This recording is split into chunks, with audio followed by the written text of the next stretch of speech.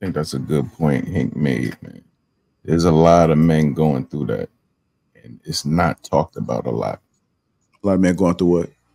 A lot of men dealing with women that have higher sex drives than them, and they can't keep up for whatever reason, whether it be work, whether it be, you know, just stuff that they dealing with, and that's a slow burn right there. Like, you know, because or their diet, Hmm?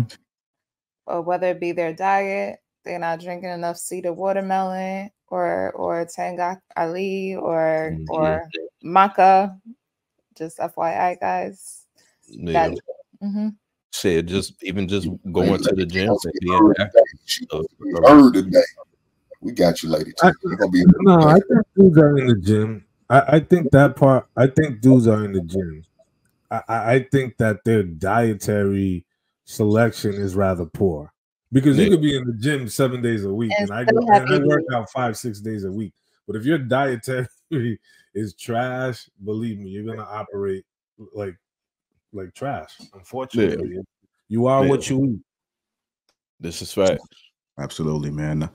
It's a it's a lot of things that we can do because I, I think when it comes to that, for a lot of men, um, like their backs are against the wall and they don't really understand how important it is until it's too late. And uh, I think she she's gonna t- speak on it maybe in this. I watched a, a few videos of hers where she talked about the importance of sex, but maybe we may not get into that discussion. But for men, um, we have to make sure that we watching what we putting inside of our body. The, the earlier, the better. And and exercising, like them steps matter. You should at least be getting like ten to twelve thousand steps. Well, eight to eight to twelve thousand steps. You know, uh, each day. If you if you averaging that, you drinking your water, you eating right. For the most part, you sleeping because I think people don't understand the importance of sleep. Even me, I try to make sure that I sleep because the older we get, uh, the more that we are affected by things and we don't realize it. So if if you take care of the core important things, then I think that you got you got a better chance. It's never a guarantee, but you got a better chance of being able to to keep up. And as men, we want to make sure we give ourselves a lot of opportunity. But just to speak a little bit on this topic as well, um, I was watching the Ultimatum South Africa. Have you guys seen it? Mm. Yeah, it's up on it's on Netflix, man. I had been watched it, uh, sat down for a, a, a change, and stepped outside in front of the computer, and I watched it. And it was very interesting. And so uh, I think it's it's good. It looked like it was one of the it was a reality dating show uh, where they brought couples on there, and so one of the couples, whether it be the man or the woman, brings um, their mate there in hopes to try to save the relationship, save the marriage. And what they do is uh, they're there, I think, for a few weeks, and then they switch up uh, with other people, and then they date and they come back. It's it's a whole it's a whole lot of that going on. But what I've learned is that um, a lot of people, a lot of women, have built up pain, have pain, pain, pain, pain, and then the pain is released in the form of cheating because it was a big a big thing where um, it was a promise made that even though they was trying this experiment out, that you wouldn't cross the boundary of getting intimate with somebody. And a few people got intimate, but one was highlighted a little bit more, and she really crushed that guy because um, he had no idea. But she, but what we learned is that she was hurt a long time ago. So the fact that the man wasn't paying attention to what he was creating she responded in a different way, which we see often. So you got to make sure. uh, what's what you got going on? You over there playing CNN? But a- anyhow, the point that I'm trying to make is that you can vet properly, but there's still a potential based off lack of communication that there's a possibility that things can go left, and you're not realizing until it's too late. So it not only happens, uh, you, you can vet somebody thoroughly, but sometimes people just grow apart because they just not communicating with one another. So I, Well- it- it- go ahead. Yeah, no, that that was actually really well said, Jr. But you know, there was a there was something that you said that really resonated with me. Uh, it was like she was hurt a long time ago, and to be quite honest with you, we have these conversations and we talk about people vetting and paying attention to red flags, green flags, etc. But the reality is, is that there are a lot of people out here who are hurt, who are dating, who are trying to date or trying to meet people who have not addressed any of their uh, previous issues, right? And there are people out here who want their pound of flesh because somebody did their wrong, and sort of they want to kind of enact that same sort of pain. That that that's just the sad reality of, of, of it too, because a lot of people are more comfortable operating. I find that a lot more people than often are much more comfortable with operating in the dark than actually having the uncomfortable conversation with their significant other about the the trials and tribulations that they've gone through either in their past relationship and what and what they're currently going through in their mind.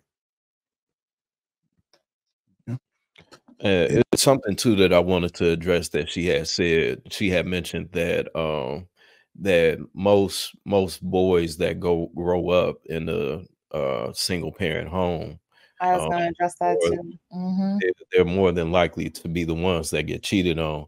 And I'm I'm kind of torn by that because I, I feel like it, at least in the generation of our generation, maybe not so much this generation now, but during our generation of growing up, um, I think one of the perks that I would say of growing up in a single parent home was being able to be around women and learning what works what are they what are they looking for what don't they like what do they like and being exposed to that at an early age uh, i think that that was a plus for me to to be able to see those signs early on and essentially not not be in that in that group of men that get cheated on you know and then of course don't know how to handle it or whatnot. But i, I think in most cases um the guys that do experience that are the ones that are in a dual parent home you know what i'm saying because they they expect the fairy tale or whatever the case may be so now they're blinded by what can actually happen outside of this protected space Yeah, That's that's mm-hmm. ex- that was an excellent. My fault. You go ahead. No, go ahead because I'm gonna say something else, and I do agree with what he's saying. You could go ahead and go ahead. Yeah, that's an excellent analysis, yo, because you know I'm thinking most of my friends that had the free crib where the nonsense took place, it was single parent homes, and like you said, a person that was raised in a dual family, you're looking at it all. You have a whole different perspective on relationships, the mechanics of it. You know, your parents may have shielded you from like the negative for a long time. You know, maybe until you get older and you were able to see you know where they had their struggles. But for the most part you have a whole different perspective of it. So you are definitely blindsided by damn is this supposed to go this way? Or you're holding women you know on a pedestal mm. because your mom you know you saw how your dad treated your mom or who your mom was as a person. So you're putting them up on a pedestal not realizing not everybody is worthy of that everybody starts out at a level playing field and then they earn that pedestal you know So let me ask the question. So should people who grew up in a two parent household, you know, be more wary about dating people who grew up in a single parent household dynamic? i think i think that needs to be considered because i did you know what i mean? When i was realizing like a, a cycle you know what i mean? It was a cycle of daddy issues or mommy issues or you Mhm. know i'm the oldest sibling and i'm raising my younger siblings. I'm essentially the mom. You know what i mean? So i'm trying to escape. You know what i mean? Like i had a situation where literally you know my ex was the older sibling raising her two younger siblings. You know the dad was military so essentially and and the mom just took off you know what i'm saying when the last sibling was born. So she was like the mother it was mad pressure. So she was always like running from them.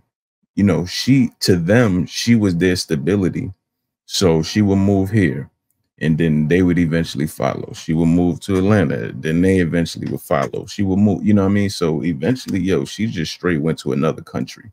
And i was in the relationship at the part at the end when she went to another country. So you know stuff like that. So I'm thinking, okay, if I'm dating people with a similar, you know, to have a similar perspective because they come from a two parent household, I think that needs to be considered. You know, for a young person looking to date, trying to find somebody who's, you know, equally yoked, that's something that they should absolutely consider.